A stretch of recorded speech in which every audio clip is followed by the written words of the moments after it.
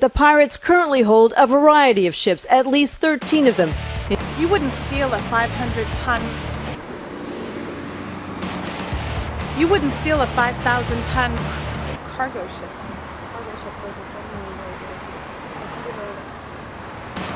You wouldn't steal a 5,000 ton cargo ship filled with $1 million worth of crude oil, would you? Downloading free music is stealing. I'm unknown actress and comedian Emily Maya Mills, and I'm here to remind you that piracy, in any form, is never okay. You could end up with a two year jail sentence, pay a $3,000 fine, they could take your personal computer, or you may end up with a strategically placed bullet wound to the frontal cortex.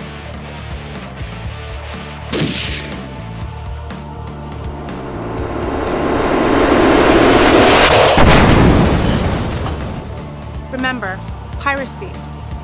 It's not worth it. Don't f- with the man.